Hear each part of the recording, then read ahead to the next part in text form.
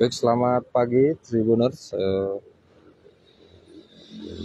seperti inilah kondisi arus lalu lintas di jalur arteri Jalan Cadas Pangeran Kabupaten Sumedang pasca Jalan Tol Cisumdawu seksi 4 hingga 6 yang menghubungkan Kecamatan Cimalaka Dauan yang mulai hari ini sudah berbayar. Baik berdasarkan pengamatan kami di Jalan Cadas Pangeran, meski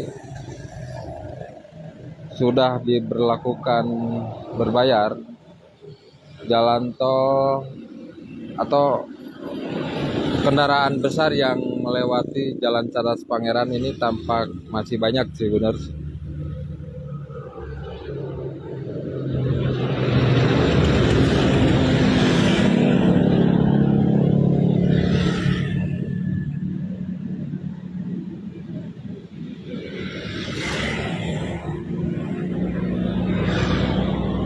Berdasarkan pengamatan kami di Cadas Pangeran untuk arus lalu arus lalu lintas dari arah Bandung menuju Sumedang maupun arah sebaliknya masih tampak terlihat normal seperti hari-hari biasa.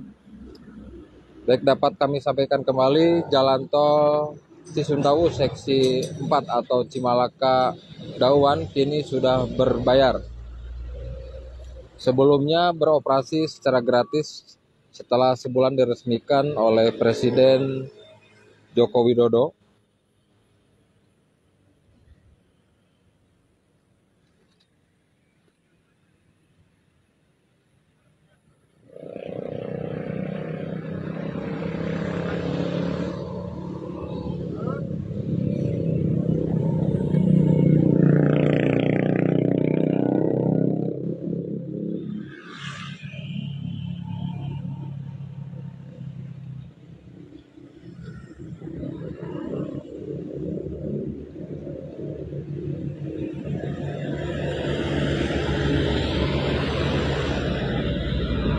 Baik Tribuners dapat kami sampaikan kembali berdasarkan informasi yang kami dapatkan dari Direktur Teknik dan Operasi PT Citra Karya Jabartol Bagus Medi.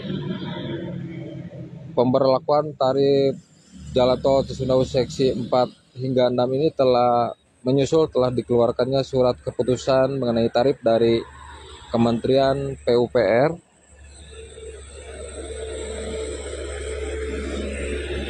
Dan untuk mengenai tarif tol seksi 4 hingga 6 ini yang telah disahkan oleh Menteri PUPR,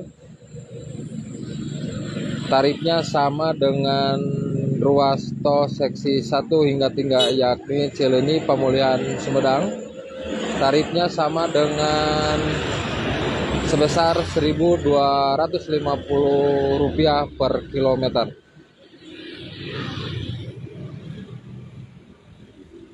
Baik demikian, Kiki Adriana melaporkan dari Jalan Cadas Pangeran, Kabupaten Sumedang.